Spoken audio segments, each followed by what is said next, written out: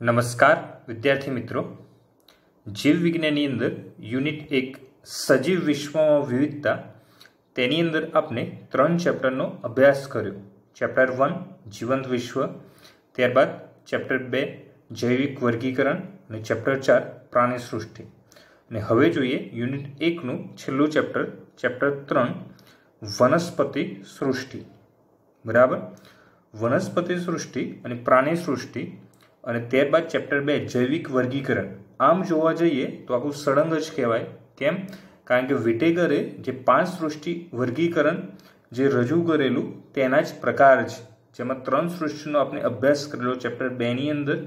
ત્યારબાદ પ્રાણી સૃષ્ટિનો અભ્યાસ કર્યો ચેપ્ટર ચારમાં. ને હવે બાકી વધેલી વનસ્પતિ સૃષ્ટિ ચેપ્ટર ત્રણની અંદર આપણે અભ્યાસ કરીશું.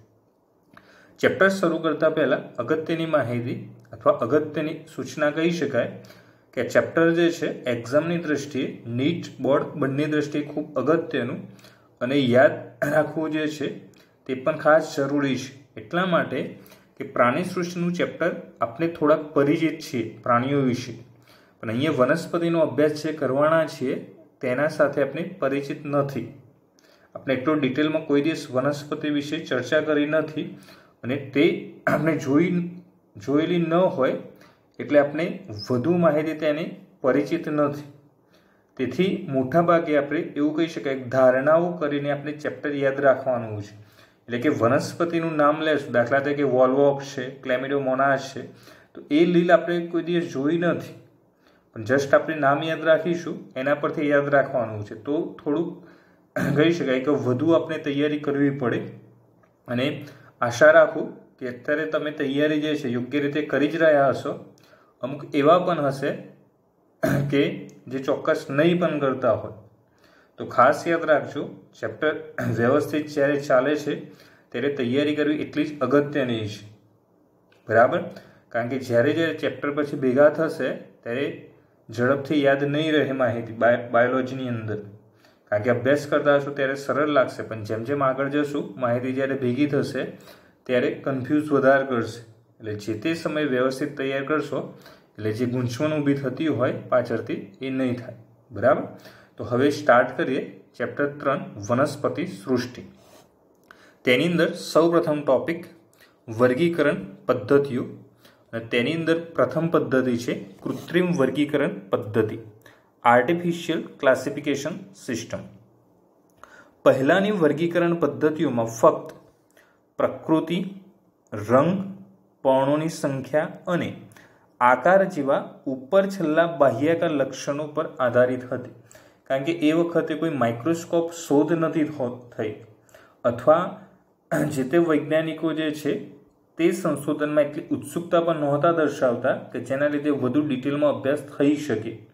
તો આવા ઘણા બધા પરિબળોને કારણે અને બીજું છે વાહન વ્યવહાર, એ પણ જે છે, સરળ નહોતું, એટલે જે તે જગ્યાએ નવી જાત હોય, તો પણ તેના વિશે સંશોધન કાર્ય થઈ શકતું નહોતું.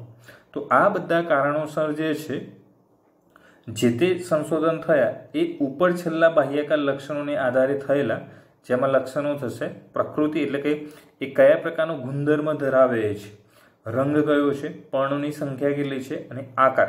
આ આધારે જે છે, માત્ર વર્ગીકરણ થતું હતું. લિનિયસ દ્વારા રજૂ કરવામાં આવેલ વર્ગીકરણ પદ્ધતિ મુખ્યત્વે વાનસ્પતિક લક્ષણો કે પુંકેસર ચક્ર પર આધારિત હતી. પુંકેસર ચક્ર જે વનસ્પતિના જે પ્રજનન ચક્ર છે, તેમાં બે પ્રજનન ચક્ર હોય. એ પુંકેસર ચક્ર અને શ્રીકેસર ચક્ર. તો લિનિયસે જે રજૂ કરેલ વર્ગીકરણ પદ્ધતિ, એ કયા પ્રજનન ચક્ર પર આધાર હતી? પુંકેસર ચક્ર. આમ જોવા જઈએ તો પુષ્પની અંદર ટોટલ ચાર ચક્ર હોય. જેમાં સૌથી બહારની તરફ જોઈએ તો વજ્રચક્ર આવેલું હોય. બરાબર? તો વજ્રચક્ર આપણને સૌથી બહાર જોવા મળતું હોય. પછી રંગબેરંગી પાંખડીઓ ધરાવતું દલચક્ર, ત્યારબાદ પુંકેસર ચક્ર, અને છેલ્લે આવેલું હોય સ્ત્રીકેસર ચક્ર. આમ ચાર ચક્ર જે છે આવેલા હોય, જેને અનુક્રમે સંજ્ઞા યાદ રાખીશું. વજ્રચક્રને કેલિક્સ એટલે સંજ્ઞા કે થાય. દલચક્ર એટલે કોરોલા એટલે સંજ્ઞા સી, પુંકેસર એટલે એન્ડ્રોસિયમ એટલે સંજ્ઞા એ, અને સ્ત્રીકેસર એટલે ગાયનોસિયમ અથવા જીનોસિયમ એટલે સંજ્ઞા જી. એટલે આ પણ ડાયરેક્ટ એમસીક્યુ પૂછાતો હોય છે કે વનસ્પતિમાં પુષ્પની અંદર જોવા મળતા ચક્રોને બહારથી અંદર તરફ જતા અનુક્રમે ગોઠવો. તો સૌથી બહારનું વજ્રચક્ર જે મોટાભાગે લીલા કલરનું હોય. બરાબર? દલચક્ર જે છે એ રંગબેરંગી જે પાંખડીઓ જોવા મળતી હોય, એ દલપત્રો જે હોય રંગબેરંગી, જે આકર્ષણ કરતા હોય, તેને કહેવાય દલ ચક્ર ત્યારબાદ પ્રજનન ચક્રો બે, પુંકેસર ચક્ર અને સ્ત્રીકેસર ચક્ર. વજ્રચક્ર અને દલ ચક્રને સહાયક ચક્રો કહેવામાં આવે છે. તો બહારથી અંદર તરફ જતા અનુક્રમે આ ચાર ચક્રો આવે કે સી એ અને જી તેથી તેને કૃત્રિમ વર્ગીકરણ પદ્ધતિ કહે છે.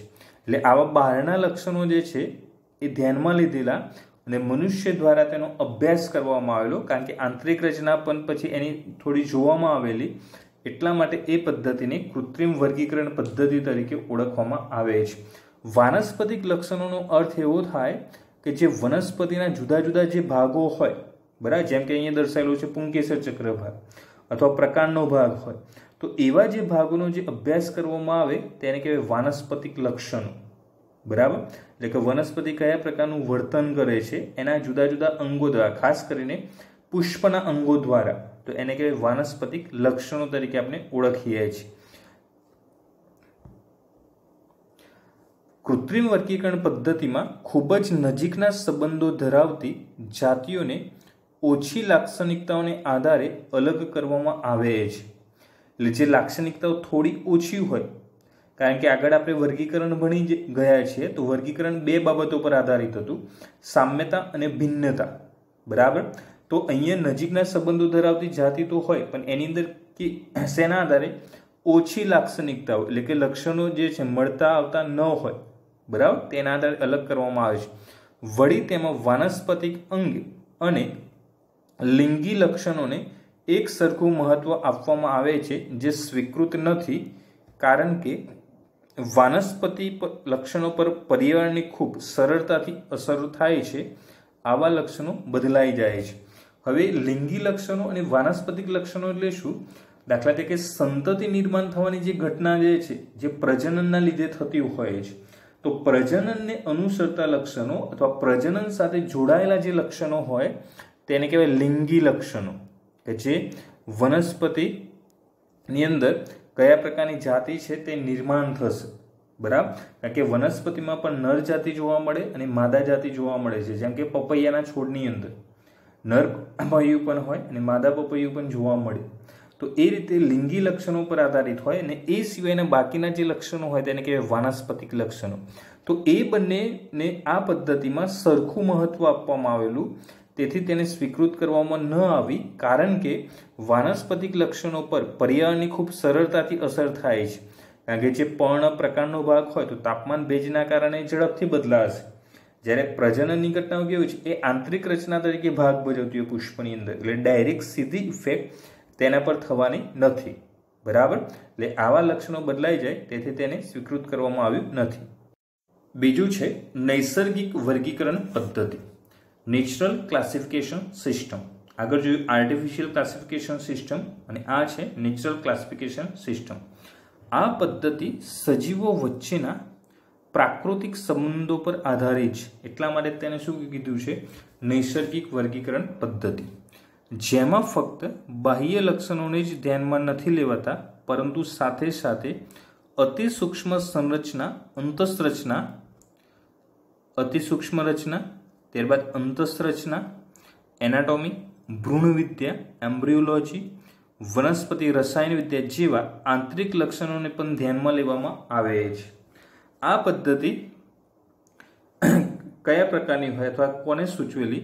તો જ્યોર્જ બેન્થામ અને જોસેફ ડાલ્ટન હુકરની વર્ગીકરણ પદ્ધતિ.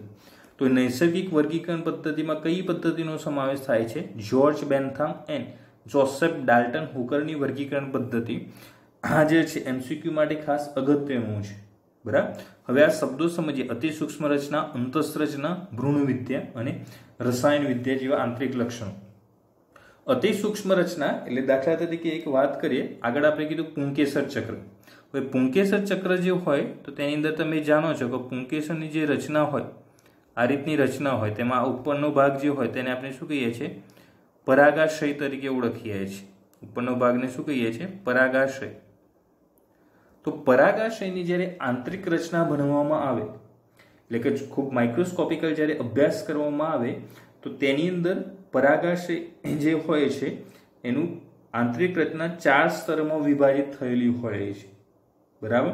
જેની અંદર જુદા જુદા સ્તર જોવા મળતા હોય, જેવા કે અધિસ્તર છે, તંતુમય સ્તર છે, એન્ડ્રોસિયમ સ્તર છે. તો એવા સ્તર જે જોવા મળતા હોય આંતરિક રચનામાં, તેને કહેવાય અતિ સૂક્ષ્મ રચના.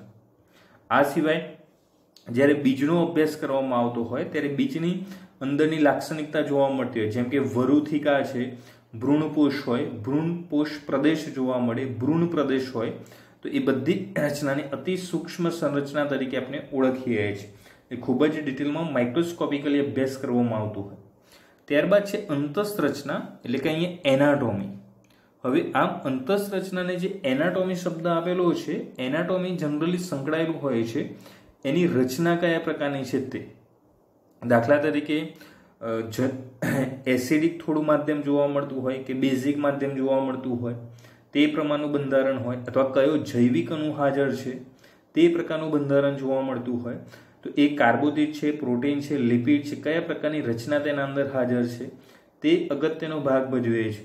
જેમ કે પરાગાશયમાંથી જે પરાગરજ મુક્ત થતી હોય તો એ પરાગરજના ફરતે જે પરાગરજ મુક્ત થાય, તો એની રચનાની વાત કરીએ, તો પરાગરજના ફરતે સ્પોરોપોલિનિન નામનું આવરણ હોય છે. કયું? સ્પોરોપોલિનિન.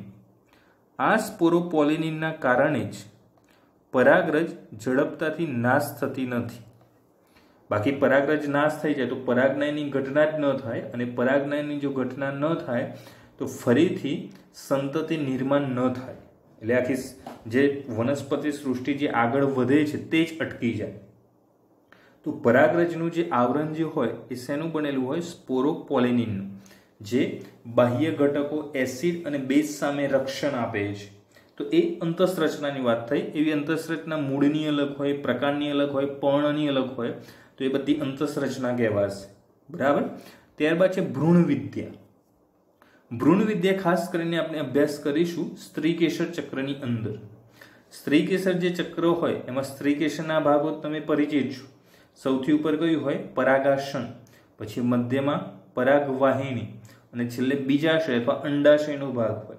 એ બીજાશયની અંદર જે અંડક હોય, અંડકની અંદર પાછી આંતરિક રચનાની જ્યારે વાત કરવામાં આવે તો એક બાજુ અંડક તલ ગોઠવાયેલું હોય. બરાબર? અંડક આવરણ આવેલા હોય, પ્રદેહ આવેલો હોય. પ્રદેહની અંદર પછી આંતરિક રચનાની વાત કરીએ તો સહાયક કોષ જોવા મળતા હોય.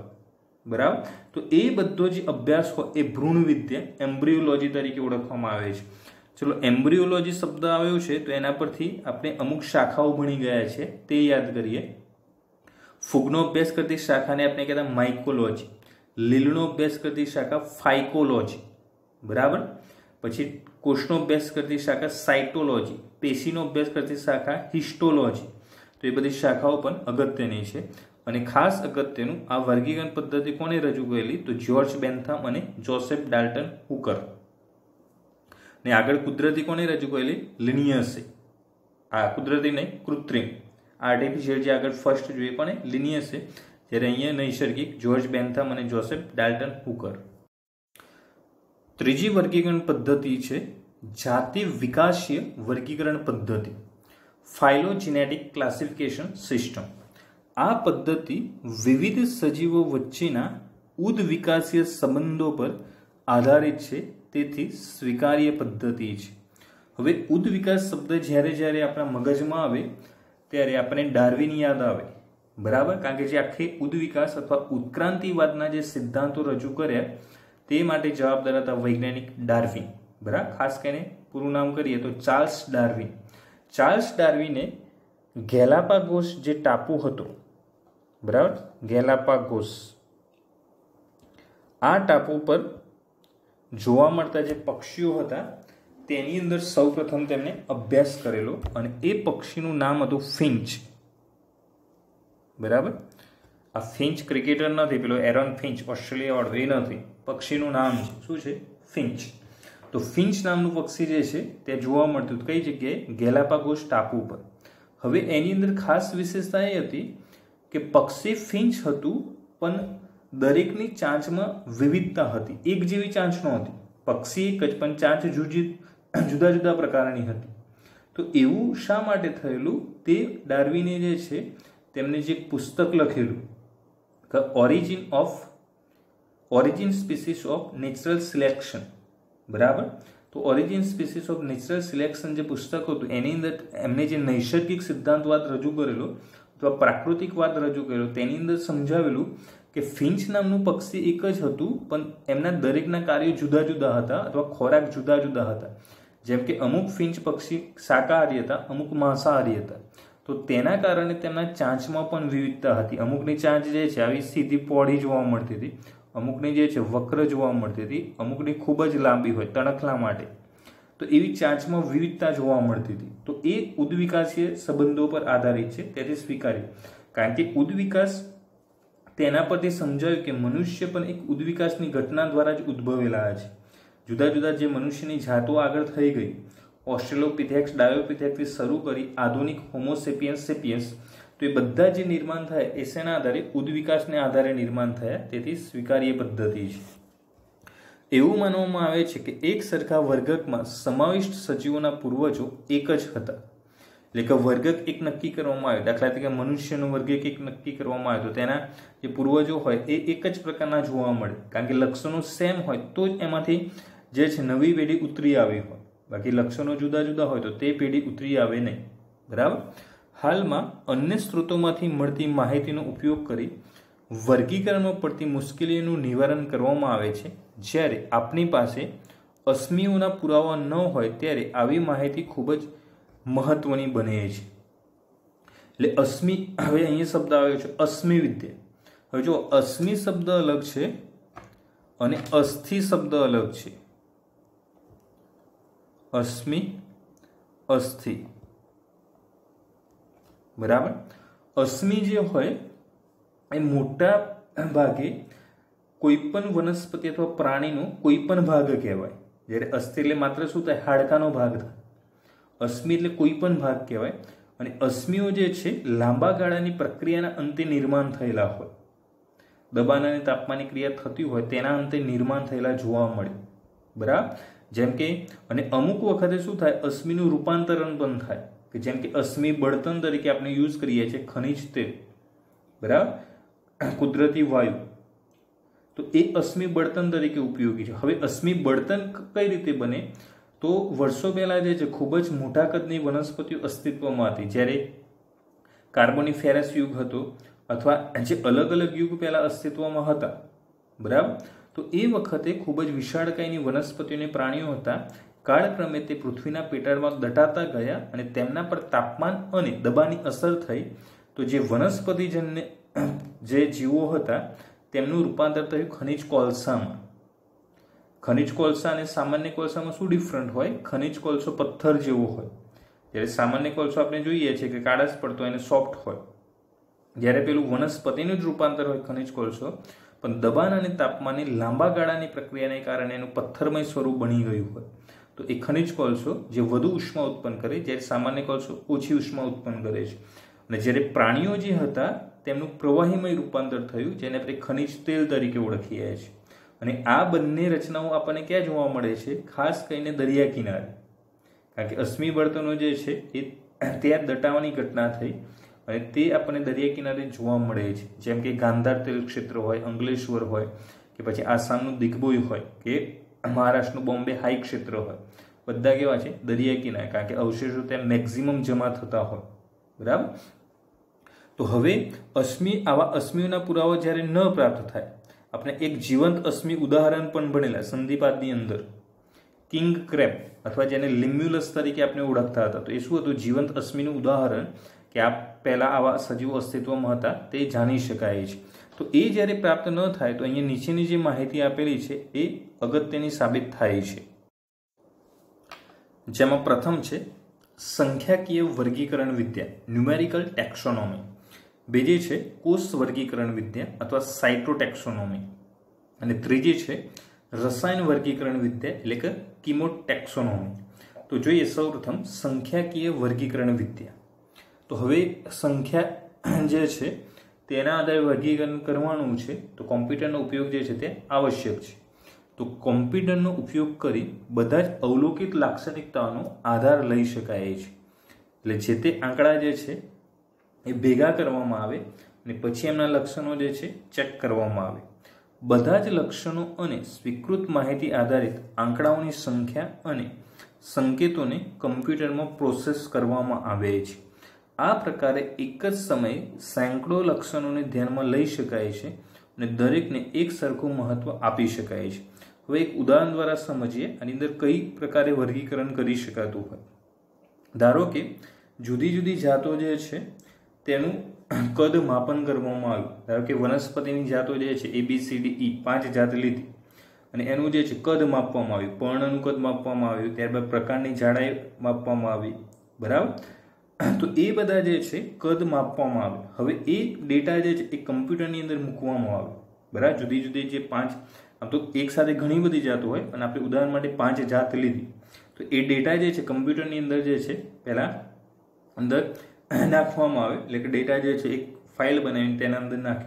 તો હવે આપણે જાણીએ છીએ કે કમ્પ્યુટરની અંદર ઘણા બધા ફંક્શન હોય છે. કે લંબાઈને આધારે જે છે એક બાજુ ગોઠવાઈ જાય, કદને આધારે જે છે એક બાજુ ગોઠવાઈ જાય, રંગ કેવો છે, આકાર કેવો છે, એના આધારે એક બાજુ જે છે બધું ક્લાસિફિકેશન થઈ જતું હોય. તો એ પ્રકારે જે છે આજે વર્ગીકરણ કરવામાં આવે છે. તેના કારણે શું થાય? એક જ સમયે સેંકડો લક્ષણો જે હોય તેનો અભ્યાસ કરવામાં આવે અને દરેકને સરખું મહત્વ આપી બહુ સરળતાથી વર્ગીકરણ કરી શકાય છે. તો આ પ્રકારનું જે વર્ગીકરણ હોય તેને કહે છે સંખ્યાકીય વર્ગીકરણ વિદ્યા અથવા કોઈક વખત તેને કમ્પ્યુટરીય વર્ગીકરણ વિદ્યા પણ કહેવામાં આવે છે. કારણ કે મેક્ઝિમમ તેનો જ ઉપયોગ થાય છે અને આંકડાઓ સંખ્યાને આધારિત આ ક્રિયા થતી હોય છે. ત્યારબાદ છે કોષ વર્ગીકરણ વિદ્યા. હવે કોષ વિદ્યા શબ્દ આપણે જાણીએ છીએ. સાયટોલોજી, એટલે શું કહેતા કોષ વિદ્યા પણ એ શું છે? કોષ વર્ગીકરણીય વિદ્યા. હવે કોષ વર્ગીકરણ વિદ્યા એટલે શું? તો જે કોષોની અંદર જે તે તત્વ રહેલા હોય, બરાબર? તેના આધારે કોષોને અલગ પાડવા. તો હવે આપણે જાણીએ છીએ, કોષ રચના ખૂબ ચેપ્ટર આપણે ભણી ગયા.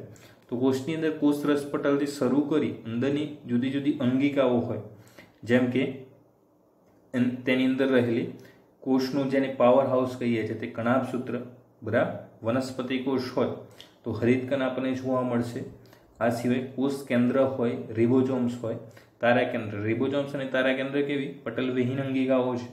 અંતઃકોષરસ ઝાડ હોય, ત્યારબાદ લાઇસોજોમ્સ હોય. તો એ બધી વિવિધ જે છે, અંગિકાઓ લેવામાં આવે. ત્યારબાદ રંગસૂત્રો કેવા પ્રકારના છે, એમની રચના કેવી છે? રંગસૂત્રોના પ્રકાર આપણે ભણી ગયા. તેની આ સેન્ટ્રોમિયાના સ્થાનને આધારે પ્રકાર ભણેલા. બરાબર? તો સેન્ટ્રોમીના સ્થાનની આધારે જે પ્રકાર ભણેલા તેની અંદર આપણે જોયેલું ખાસ અગત્યની રચના કે મેટાસેન્ટ્રિક, સબમેટાસેન્ટ્રિક, એક્રોસેન્ટ્રિક અને ટીલોસેન્ટ્રિક. હવે એના પરથી એક બીજી માહિતી આજે યાદ રાખવાની છે. કોઈક વખત એવું પૂછાય કે રંગસૂત્રોનો જે આકાર જોવા મળતો હોય છે, તે આલ્ફાબેટના કયા અક્ષર સાથે સામ્યતા ધરાવે છે? એટલે કે એબીસીડીના કયા અક્ષર સાથે સામ્યતા ધરાવે છે? તો તેની અંદર જે છે, ચાર યાદ રાખવાના છે. સૌ પ્રથમ મેટાસેન્ટ્રિકની વાત કરીએ, તો તે વી આકાર સાથે સામ્યતા ધરાવે છે. કયા આકાર સાથે? વી શેપ ત્યારબાદ સબ મેટાસેન્ટ્રિક હોય, તે એલ સાથે સામ્યતા ધરાવે છે. જે સબ મેટાસેન્ટ્રિક કોના સાથે? એલ સાથે સામ્યતા ધરાવે છે. પછી એક્રોસેન્ટ્રિક જે હોય છે, એ જે સાથે સામ્યતા ધરાવે છે. કોઈ વખત આપેલું હોય તો જે સાથે. અને છેલ્લો જે હોય છે, ટિલોસેન્ટ્રિક, તે આઈ સાથે સામ્યતા ધરાવે છે. બરાબર? તો આ જે છે, વિશિષ્ટ માહિતી છે, યાદ રાખવાની છે. નીટ માટે ખાસ અગત્યની સાબિત થશે. બરાબર? તો જે રંગસૂત્રના પ્રકાર આપણે સેન્ટ્રોમીના સ્થાનને આધારે ભણેલા તો એ સેન્ટ્રોમેનના સ્થાનની અંદર ચાર પ્રકાર હતા. મેટાસેન્ટ્રિક સબમેટાસેન્ટ્રિક એક્રોસેન્ટ્રિક અને ટીલોસેન્ટ્રિક તો એક્રોસેન્ટ્રિક જે સૌપ્રથમ મેટાસેન્ટ્રિક જે છે, એ વી શેપ પછી એલ એટલે સબમેટાસેન્ટ્રિક જે એટલે એક્રોસેન્ટ્રિક અને આઈ એટલે ટીલોસેન્ટ્રિક વધારે ડિટેલમાં આપણે જે નીટમાં કોષ વિદ્યા અભ્યાસ કરીશું, ત્યારે સમજીશું વી કેમ કહેવાય છે એલ જે આઈ કઈ રીતે કહેવાતા હોય છે તે. અત્યારે ફક્ત નામ યાદ રાખીશું. મેટાસેન્ટ્રિક સબમેટાસેન્ટ્રિક એક્રોસેન્ટ્રિક ટીલોસેન્ટ્રિક જે અનુક્રમે વી એલ જે અને આઈ શેપ ધરાવે છે. રંગસૂત્રોની રચના, પછી તેમની સંખ્યા કેટલી છે? એકી સંખ્યામાં છે, બેકી સંખ્યામાં છે.